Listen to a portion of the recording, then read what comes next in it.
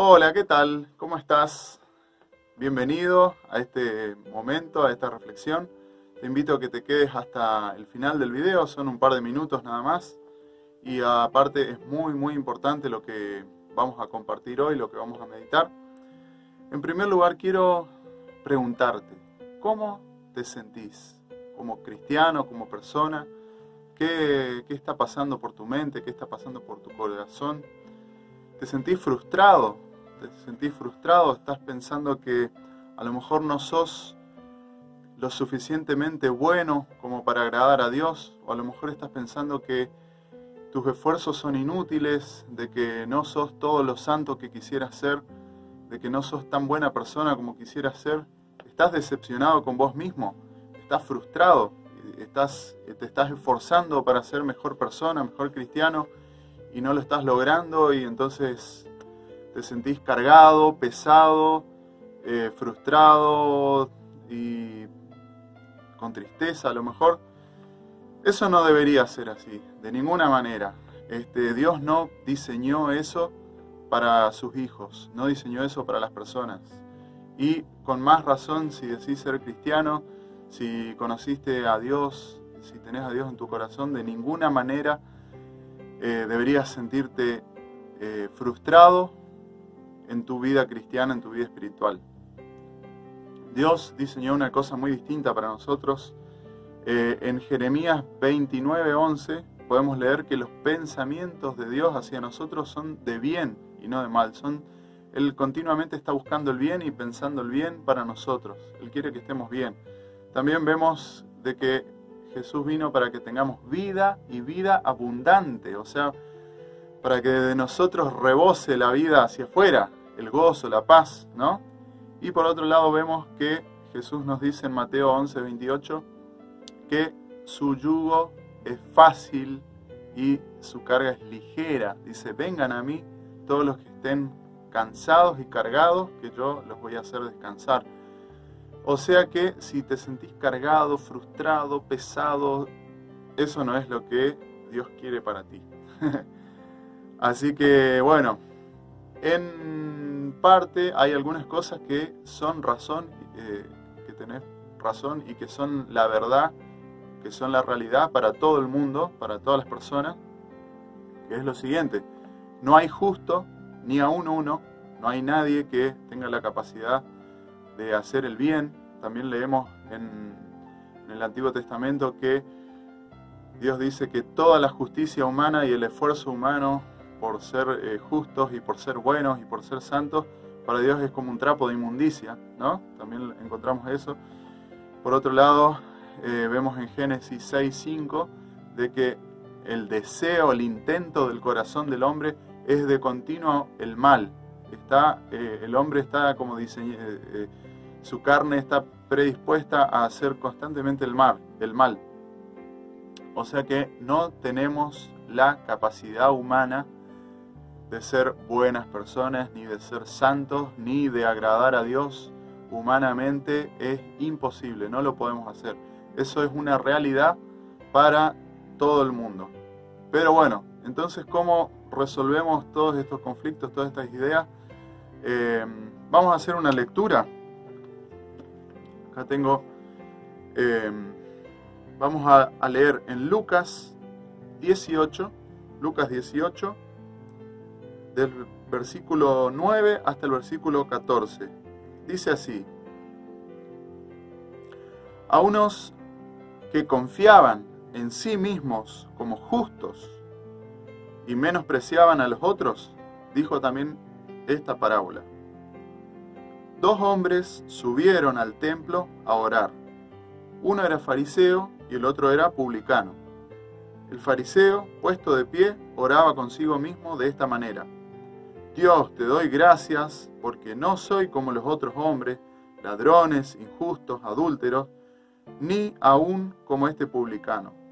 Dice, ayuno dos veces a la semana, doy diezmos de todo lo que gano, esto era lo que pensaba el fariseo.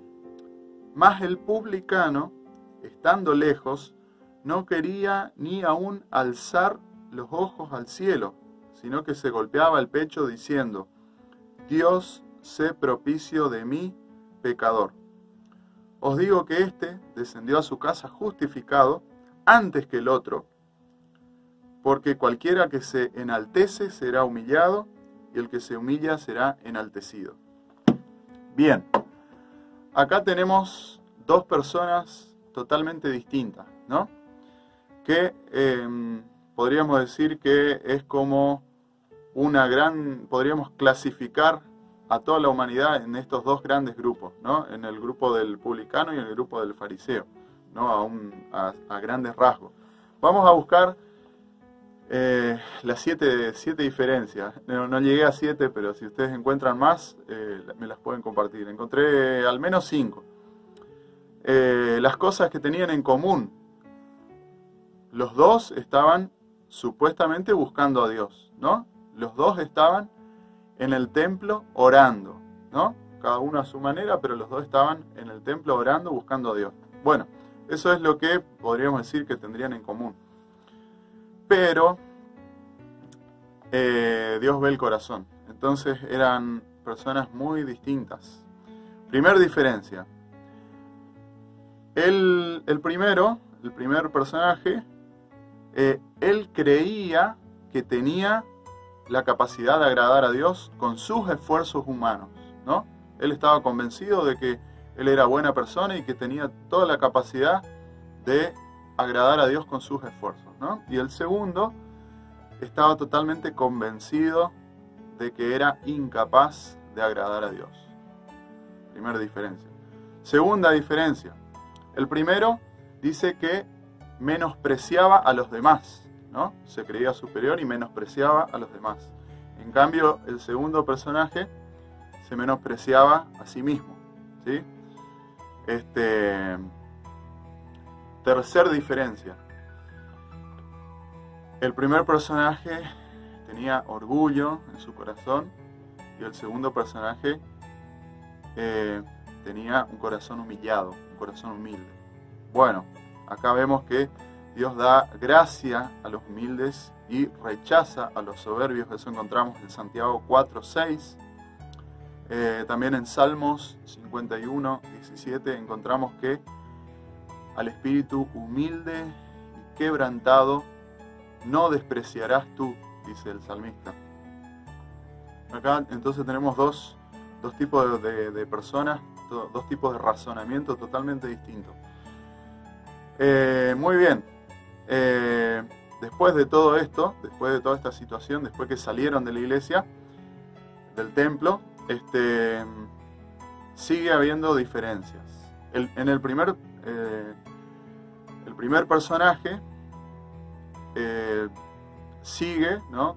después de, esa, de ese momento en el templo, no tuvo ningún cambio, sigue siendo la misma persona y sigue con sus propios esfuerzos, eh, eh, tratando de, eh, con su esfuerzo religioso, ¿no?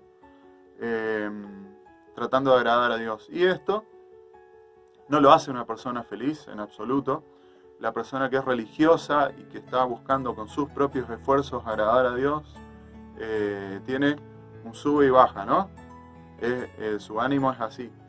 Cuando va, cuando con sus esfuerzos logró algo que a él le parece un éxito delante de Dios o que parece eh, que logró algo bueno delante de Dios, ¿no? alguna obra de caridad o algún eh, que pudo aconsejar a alguien con buenas palabras, bonitas palabras, o que pudo ayudar a alguien, o cualquier obra, lo que ustedes eh, se imaginan, cuando logra alguna buena obra, entonces su autoestima y su gozo, su orgullo está por allá arriba. Pero cuando tiene algún fracaso, algo que no le salió bien, alguna falla o algún, eh, alguna, eh, algún error cometido, alguna discusión, alguna, algo que, bueno, algo que salió mal en el nivel espiritual, entonces su ánimo anda por el piso. ¿sí? Frustración, frustración y tristeza por no haber podido eh, llevar a cabo lo que él pensaba. Eso es el el ánimo de la persona religiosa.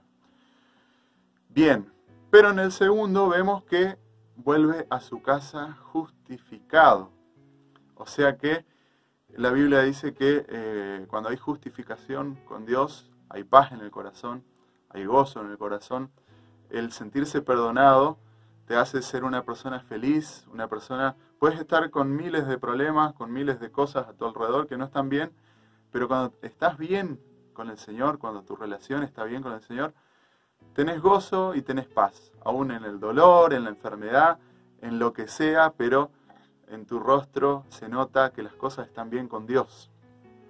Bien, esa es la cuarta diferencia. Quinta diferencia, eh, la motivación por la cual hacemos lo que hacemos y eh, vemos entonces que eh, en el primer ejemplo de nuestra historia, la persona tenía la motivación de todo lo que hacía ganar la aprobación de Dios, ¿no? Y en el segundo ejemplo, podríamos decir que de ahí en adelante todas las obras que este publicano eh, hacía eran en agradecimiento por lo que Dios hizo en él. Es primero sentirse aprobado por Dios y de ahí en adelante en agradecimiento intentar ser buena persona, intentar hacer buenas obras, ¿no? Eh, es al revés no hacer primero eh, el esfuerzo de ser buenas personas y buenas obras y todo eso para intentar ser aceptado por Dios, sino que en el segundo ejemplo vemos que esta persona es primeramente aceptada por Dios, sentirse aceptado, sentirse amado, sentirse perdonado por Dios, y de ahí en adelante esto en agradecimiento genera buenas obras y genera eh, una superación en nuestro carácter, en ser, eh, en, llevar a, los demás también ese amor y ese perdón que recibimos de Dios. Esa es la manera correcta. Entonces vemos dos grandes diferencias aquí. Muy bien. Ahora, el tema principal de, este, de esta breve reflexión que estamos llevando adelante es el arrepentimiento. Arrepentimiento. Bien. Yo creo que ese es el punto clave. Ese es el punto al que el enemigo no quiere que nadie llegue, ni los cristianos ni los no cristianos. Hay un día en el que es nuestro primer día de arrepentimiento, que es el día en el que nos eh, en el que conocemos y aceptamos a nuestro Señor como Salvador. Ese es nuestro primer día de arrepentimiento. Pero ahí empieza un proceso. Eh, el arrepentimiento debe ser continuo, constante, todos los días. ¿no? En mi caso, yo tengo una, libretita donde anoto y cada noche me pongo a pensar, me pongo a reflexionar, a ver, en este día, cuáles fueron todos mis errores, cuáles fueron mis fallas, mis debilidades, las cosas que no fueron bien y me tomo un momento de arrepentirme delante de Dios, de dolerme por lo que hice y de pedirle perdón a Dios, de reconocer mi debilidad, de reconocer mis limitaciones, de reconocer que no puedo por mi esfuerzo ser una buena persona y recibir el perdón de Dios, recibir nuevamente su abrazo, su perdón y poder descansar en paz. ¿sí? Eh, esa es una muy buena eh, costumbre que eh, entendí que era bueno hacerlo y te lo recomiendo que lo puedas hacer todos los días, tomar un momento y decir, hoy tengo muchas cosas por las que arrepentirme. Y es una práctica que se, eh, se, entrena, porque eh, somos, tenemos tan buen concepto de nosotros mismos y nos creemos tan buenos que cuando llega la noche y las primeras veces digo, ah, a ver, ¿de qué tengo para arrepentirme hoy? Y no me venía nada a la mente. Eh, esa es una estrategia del diablo.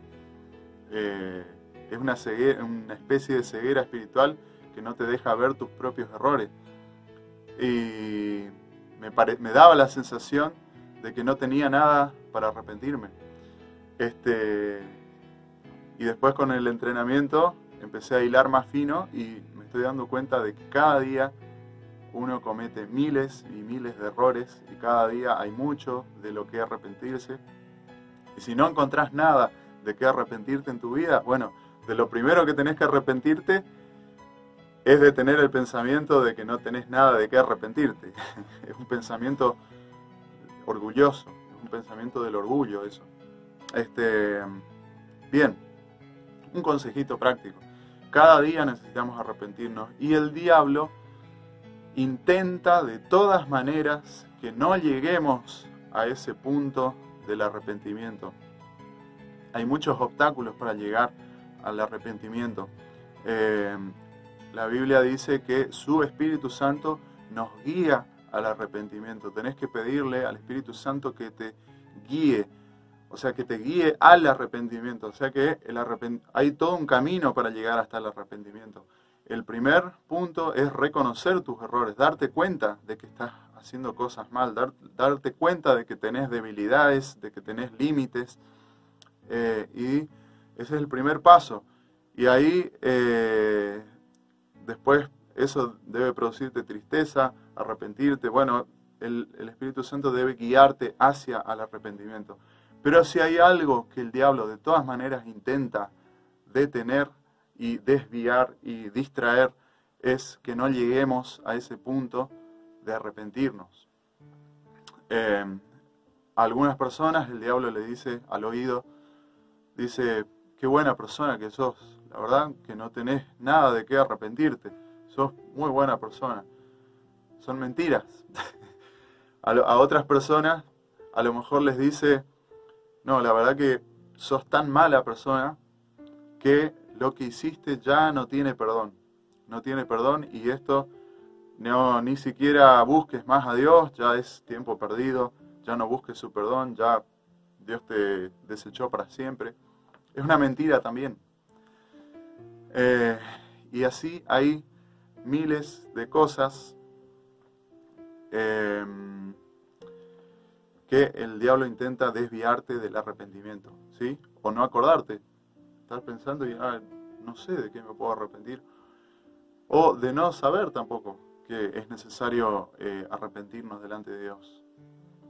Bueno, entonces el pecado puede estar en nuestra mente. A lo mejor no llegamos al punto, al punto que llegó este fariseo de orar en voz alta públicamente y manifestar el orgullo tan abiertamente, eh, pero a lo mejor el pecado puede estar en tu mente. A lo mejor tus pensamientos son pensamientos de orgullo, son pensamientos eh, en donde eh, te crees superior a los demás y menosprecias a los demás. O a lo mejor eh, lo que motiva, lo que te motiva a hacer determinadas cosas, determinadas obras, determinados servicios, determinados ministerios, o, o la superación espiritual de ser buena persona, lo que te está motivando eh, esto es para pensar, es para reflexionar, para analizarte a vos mismo, a ver qué es lo que realmente me motiva a hacer esto. Realmente quiero hacer esto porque supongo que el Señor me va a amar más por esto, o me va a querer más, o, me va a dar una palmadita en la espalda y me va a decir, qué buen hijo que tengo, qué bien que hiciste esto, qué bien que hiciste lo otro. Eh, si esa es mi motivación, si mi motivación es eh, ganarme la aprobación de Dios, estoy errando, estoy errando eh, mal, estoy yendo por el camino de la religiosidad, estoy yendo por el camino de este fariseo. Esa no es la idea. Eh, la idea es reconocer de que sin Cristo nada, nada podemos hacer. Lo dice su palabra, que somos pámpanos colgados de la vid y sin la vid nada podemos hacer. Esa debe ser nuestra actitud. Y si hay una, eh, una iniciativa de hacer algo bueno por el Señor, alguna obra, o de superarme en mi relación a los demás, eh, que sé yo, quiero superarme en cuanto a, ser más amable con los demás, o ser más generoso con los demás, o ser eh, mejor persona en cualquier área de tu vida, la motivación tiene que ser en agradecimiento porque ya fuiste aceptado. El Señor te aceptó así como eras, con tus debilidades, con tus defectos. Te recibió, te dio perdón, te perdonó. Y en agradecimiento es que eh, el agradecimiento a Dios porque ya fuiste aceptado tiene que generar eh, cosas buenas en vos, no al revés. ¿sí? Eh, jamás nuestra motivación para hacer tiene que ser ganar la aprobación del Señor. Bueno, este, bien, vamos a, decíamos al principio de que el hecho de que somos limitados y eh, débiles y de que cometemos errores es una realidad, es una realidad. Ahora bien, eh, en el religioso esta realidad produce frustración, pero ahora en el de espíritu humilde esta realidad produce arrepentimiento. Y acá está el punto. Cuando reconocemos nuestras debilidades y nuestras eh, limitaciones, nuestros fracasos, nuestros pecados, nuestros errores, no tenemos que frustrarnos, no tenemos que frustrarnos. Dios ya te conocía, te conoció desde antes de la fundación del mundo y conoció tu vida completa. Él ya sabía que ibas a fallar, ya sabía cuán débil eras, cuán pecador eras y aún así te eligió, te aceptó, te abrazó, te perdonó. O sea que reconocer todo lo malo que hay en ti no debe frustrarte. Si te produce frustración es porque hay orgullo en tu corazón. Lo que sí debe producir es arrepentimiento. Venir delante del Señor y decir, mira Señor, me equivoqué, fallé, hice esto mal, hice lo otro mal, me arrepiento, te pido perdón, me humillo delante de ti, reconozco mis debilidades, reconozco mis pecados y quiero que me perdones, quiero que volvamos a ser amigos, ¿sí? Quiero volver a tener una relación plena contigo. Esta oración tiene que ser todos los días. Todos los días tengo que limpiar mi corazón delante del Señor. ¿Sí? Bien, entonces eh, vamos a ir cerrando. Creo que ya hablé mucho y quiero, quiero estar eh, orando. Vamos a hacer una breve oración. Este, es así. Con el propio esfuerzo es imposible ser una buena persona, es imposible eh, ser un buen cristiano. Con el propio esfuerzo humano es imposible. Debemos dejar que Cristo viva en nosotros, que Él haga a través de nosotros.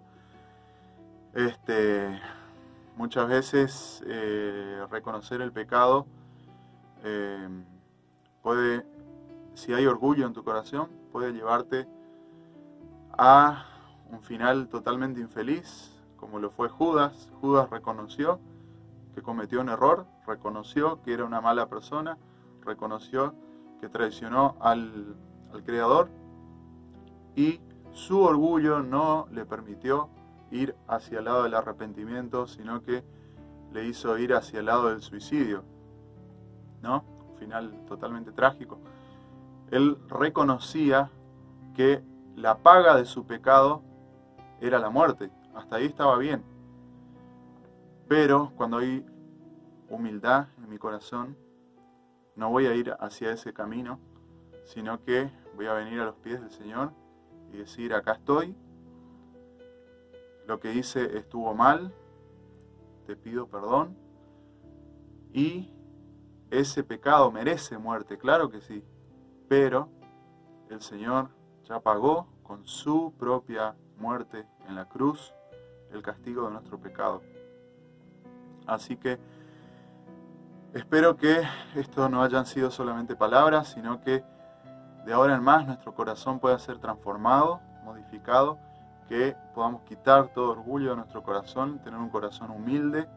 Eh, un corazón humilde es un corazón constantemente humilde que todos los días se arrepiente de sus pecados y reconoce lo que el Señor hizo en la cruz, que es suficiente, suficiente para perdonarnos, limpiarnos y hacernos nuevas criaturas. Oramos, Señor, bendito Rey, te damos gracias por todo este tesoro tan grande que está en tus palabras, en tu escritura, en la Biblia, Señor.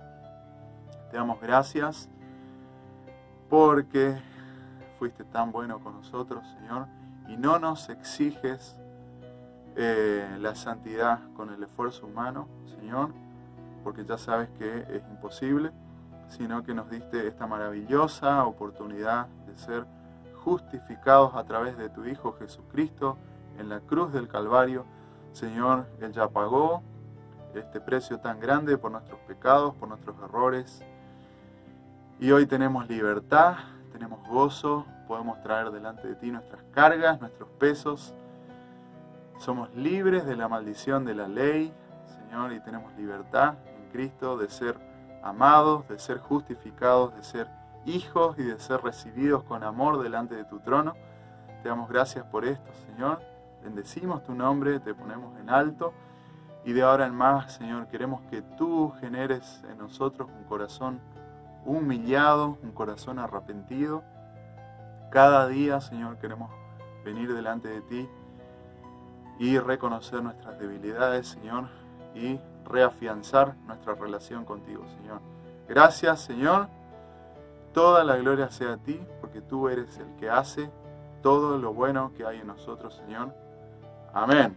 Amén. Bueno, es imposible que seas un buen cristiano con tu propio esfuerzo, pero sí es posible que Cristo viva a través tuyo. Y bueno, una vez más, eh, analizarse todos los días y si hay frustración por tus errores, eso no está bien, no tiene que haber frustración, tiene que haber arrepentimiento y luego gozo, arrepentimiento y luego gozo y paz, estar en paz con Dios, porque Dios te conoce más que nadie y te aceptó, te aceptó como hijo eh, suyo, te justificó, te perdonó, así que eh, tenés que vivir agradecido, vivir con gozo. Hasta luego, muchas bendiciones. Chao, chao.